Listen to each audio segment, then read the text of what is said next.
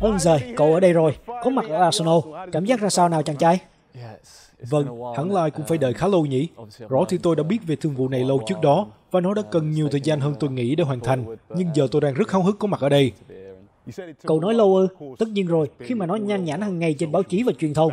Tôi đoán là cậu cũng đã nhận được nhiều tin nhắn từ fan rằng Ben này hãy gia nhập Arsenal đi. Cậu làm gì mà mãi chưa đến thế? Mọi chuyện có phải như vậy không? Vâng, thực sự rất khó để giữ kín câu chuyện với mọi người, và tôi đã phải dặn gia đình mình giữ bí mật về thương vụ này. Thậm chí ngay cả trong kỳ nghỉ thì tôi cũng liên tục bị dò hỏi rằng có đến Arsenal hay không. Nó rất khó khăn, nhưng tôi đã vượt qua được. Thế lần đầu cậu biết về việc Arsenal quan tâm đến mình là khi nào? Tôi nghĩ đó là khi tôi tập trung cùng tuyển Anh. Đó là thời điểm mọi chuyện bắt đầu. Con rõ là luôn thật tuyệt khi biết về sự quan tâm đó, và việc đến Arsenal lúc này là hoàn toàn không thể tin được. Có một vấn đề thế này trên mạng xã hội, như tôi thấy trên Twitter, mọi người đã thực sự cố gắng để tìm ra nơi cậu xuất hiện.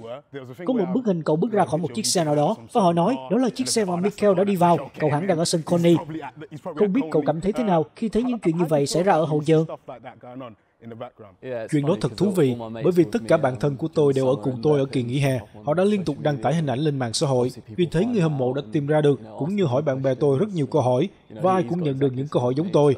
Chuyện này thật tuyệt, giờ thì kết quả ra sao ai cũng biết rồi. Hẳn là ai cũng nói về chuyện Mikel đến đây trong chiếc taxi dễ thương đó. Giờ để nói, thì cậu đều đã trao đổi với Mikel và Edo. Không biết là kế hoạch của họ cho cậu ra sao mùa này, và họ đã làm gì để thuyết phục cậu tham gia vào kế hoạch hiện có ở đây. Tôi nghĩ họ đã không phải làm gì quá nhiều để thuyết phục tôi đâu, khi rõ là danh tiếng Arsenal đã tự làm chuyện đó. Cá nhân tôi đã được trao đổi với ông chú Mikel nhiều lần trong suốt kỳ nghỉ hè. Tôi đã có được nguồn cảm hứng tốt và hiểu được những điều mà Mikel muốn tôi thể hiện. Tôi nghĩ mình có thể mang đến chất lượng cho đội hình này và đầy hy vọng sẽ vực dậy Arsenal.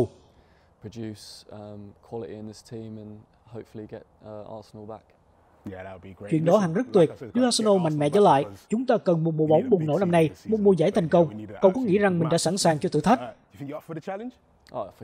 Chắc chắn rồi. Tôi đã chơi ở những giải hạng dưới. Tôi đã chơi cho nhiều đội khác nhau theo dạng cho mượn. Nó cho thấy sự khát khao vẫn ở trong tôi. Tôi thực sự vui để gia nhập một câu lạc bộ lớn như Arsenal và hy vọng sẽ giúp nâng tầm đẳng cấp của pháo thủ.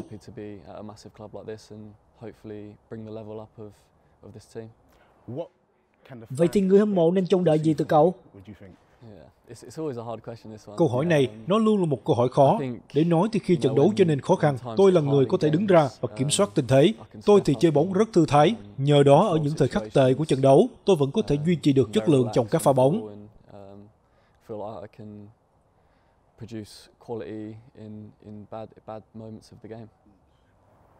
Nghe này, tôi biết cậu rõ là một trung vệ rồi, nhưng còn vị trí nào mà cậu có thể chơi và từng chơi không? Để nói thì tôi đã chơi gần như tất cả các vị trí rồi. Hàng công luôn ư? Vâng, đó là lúc tôi chơi cho Newport ở giải hạng tư. Tôi đã thấy pha dứt điểm của cậu cho Leeds và cảm giác rằng cậu có thể chơi tiền đạo khi có thể đóng những pha như vậy. Chuyện là tôi đã được chỉ đạo phải sút như thế vì tôi đã không góp mặt trong vòng cấm để đánh đầu được. Thật ư? Vâng, vì thế sau trận đấu đã rất vui vẻ khi mà tôi đã đưa bóng tung nóc lưới. Đóng qua đó phải nói, sướng nhỉ? Tại Arsenal, hiện đang có những cái tên rất nổi tiếng. Không biết ai trong đó sẽ là người mà cậu muốn đối mặt trên sân tập nhất, ai là người mà cậu thích thú muốn gặp nhất.